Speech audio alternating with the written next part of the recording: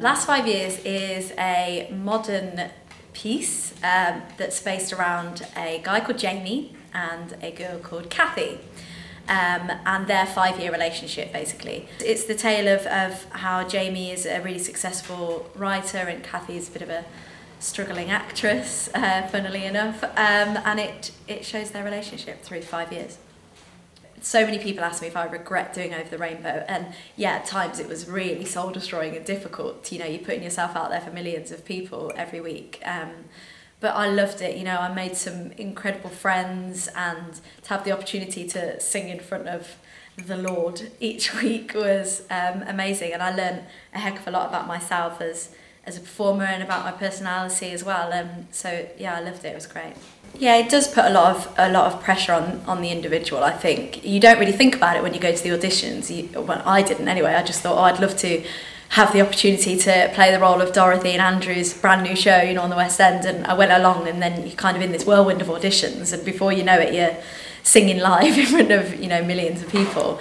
Um, but it, it is stressful. I mean, I tried not to read newspapers or, or YouTube or things like that, but you do, and then you know there can be one nasty comment out of 30, and that is the one that you will remember and get really upset about. Um, so it is difficult, and I think I mean, I was the eldest at 22, so I think that for the younger girls that are sort of 16, 17, I don't, I don't know how they handled it. I wouldn't have been able to handle it at that age. It is difficult because you're thrust into a house um, and not only are you, you know, living with, uh, you know, 10 other girls, but you're also with each other every day rehearsing and, you know, doing interviews or doing whatever we happen to be doing. So it, it was really stressful in that sense. And there were times when all of us just wanted to be to sit in our rooms and just not talk to anyone.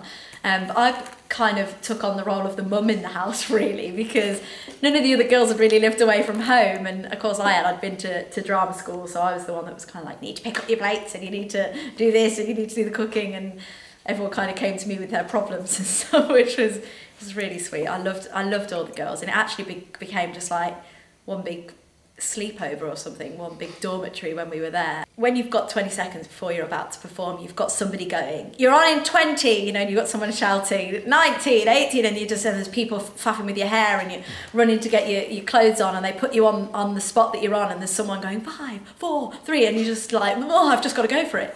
Um, so I think at the time was, there was so much happening and there was so much going on and there was a live audience as well so I just kind of concentrated on the fact that, that there was a live audience and that I was just almost doing a theatre performance. Kathy's a very different role to any anything else that I've ever played. I mean the first role I ever played was Wendy in Peter Pan.